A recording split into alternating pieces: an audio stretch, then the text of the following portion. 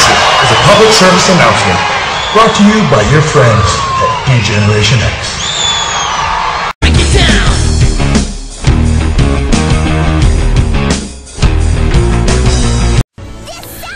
Oh, goody. Yeah, My Little Pony. put on your party hats for the bestest. And your barf bags. Fabulous Superbio Party in Fayetteville, hosted by this guy. Clint Eastwood? Super duper party pony. Oh, no, please, no. No, not him. Please, God, no. Just who does he think he is? No! Why is he doing this? Well, he does have a daughter. And puke. Network. Yeah. Not a. Well, I guess if you're not down with that, we got two words for you.